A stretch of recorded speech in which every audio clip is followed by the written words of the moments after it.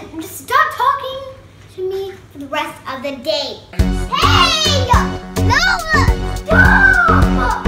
Woo! Y'all gon' make me lose my mind. Up in here, up in here. Y'all gon' end up in timeout. Up in here,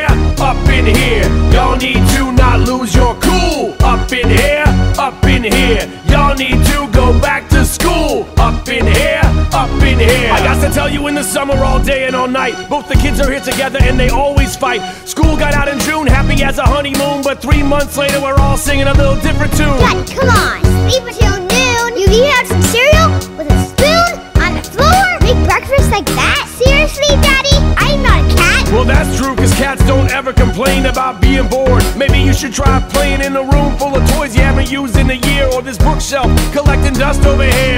Well, guess we could just go outside, but this is what happens when mommy applies sunscreen. Take it off, please. Come on! It's like I'm wearing cream cheese, and I don't like cream cheese, so I don't, if it's all over my face, then I'm tempted to eat it, and it's just gross. We'll do, but we're not quite through carrying everything we own to the pool. You two are each carrying a single swimming fin. So yeah, when does school start again? Y'all gon' make me lose my mind. Up in here,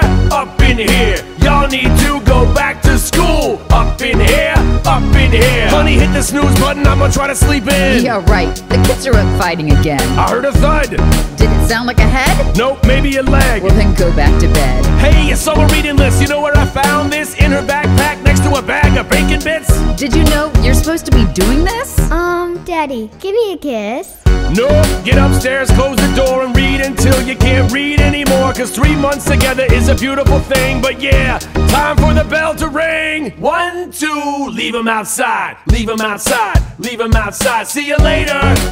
And thank you so much to our kids' teachers. We know your hands are gonna be full, and we know they are gonna be in great hands. Subscribe here. Yeah, buddy.